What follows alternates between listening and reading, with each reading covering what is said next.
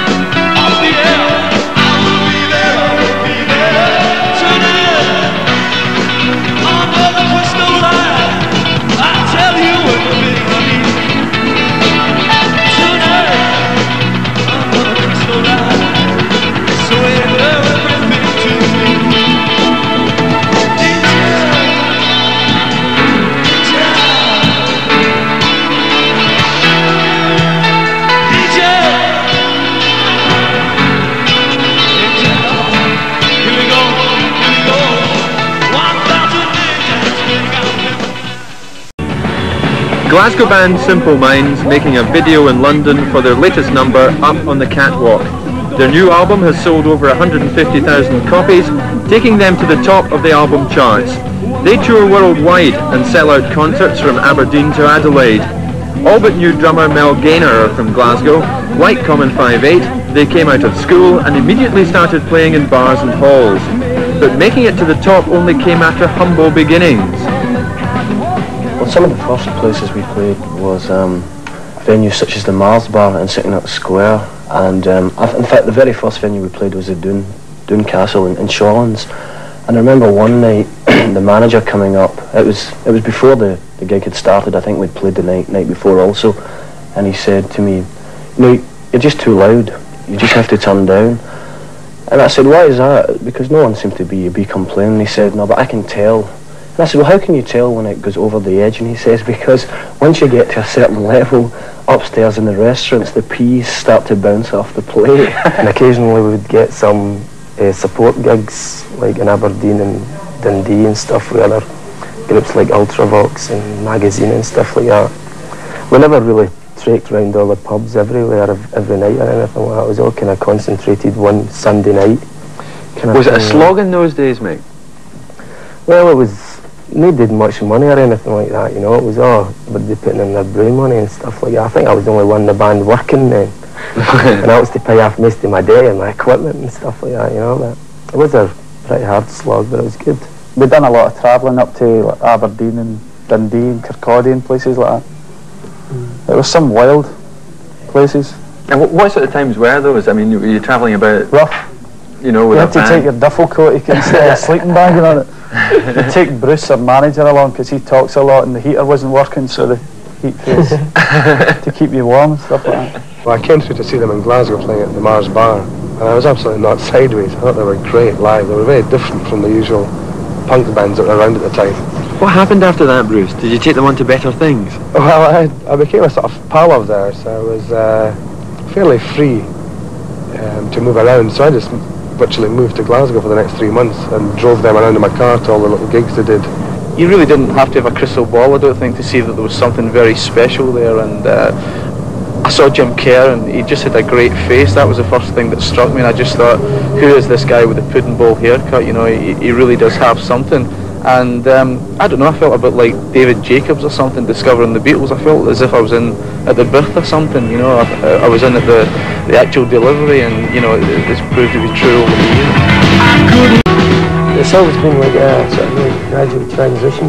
And like with us, it was a, you know, we never get too much too soon and I think that kind of helped us to, to mature, you know, so that when we did reach a certain level, it didn't really, you know, affect your head. Yeah. Mm. Uh, I think like the most enjoyable thing is that I think like the actual journey towards some sort of goal is the enjoyable part of it as opposed to actually actually reaching it, you know. So so in effect all those years that we've we've been playing were they were great times, know, even though there were such struggles. Still really enjoyable. I think the time we when we were going in seventy eight it was it was a good a good a good time for us because there wasn't a lot a lot happening. The punk thing had it came with a giant outburst.